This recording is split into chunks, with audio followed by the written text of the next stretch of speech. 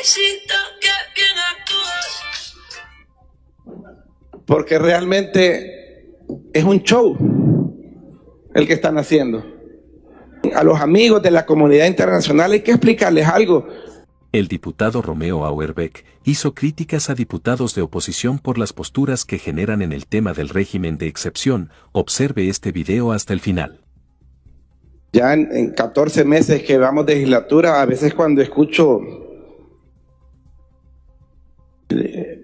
y lo digo con cariño, ¿verdad? cuando escucho la chiquitinada en sus argumentos, uno se pregunta qué están, qué están haciendo, ¿verdad? cuál será la, la, la estrategia. Bueno, primero que me encantó porque encontré esto aquí, yo creo que va bien cuando ellos hablan, ¿ve? Te felicito